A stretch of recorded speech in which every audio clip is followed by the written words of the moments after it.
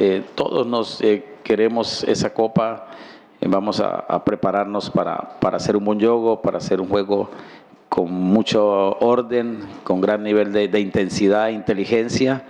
Y creo que el grupo está muy dispuesto, muy motivado, saber que tenemos al frente un rival muy, muy, muy exigente, un rival bien estructurado, más es un juego de 90 minutos, 95 minutos que vamos a aprovecharlo para querer esa copa que, que creo que, que, Flamengo ha hecho un buen camino para, para lograrla. Eh, todos los jugadores están dispuestos y bueno, creo que hacer sobre todo dos, dos días muy importantes, ¿no? Domingo y lunes de entrenamiento que nos prepare ya para, para la cuarta feira, domingo y segunda.